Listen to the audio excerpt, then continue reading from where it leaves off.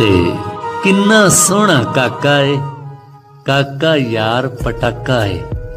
ਚਿਹਰਾ ਫੁੱਲ ਗੁਲਾਬੀ ਏ। ਰੌਣਕ ਏ ਸ਼ਾਦਾਦੀ ਏ। ਗੱਲਾਂ ਦੇ ਵਿੱਚ ਟੋਏ ਨੇ। ਲੱਗਦੇ ਨਵੇਂ ਨਰੋਏ ਨੇ। ਅੱਖਾਂ ਰੋਸ਼ਨ ਤਾਰੇ ਨੇ। ਜਿਉਂ ਬਲਦੇ ਅੰਗਿਆਰੇ ਨੇ। ਮਾਂ ਬੋਲੀ ਦਾ ਜਾਣੂ ਏ। ਸਦਕੇ ਦਿਲੋਂ ਬਜਾਣੂ ਏ।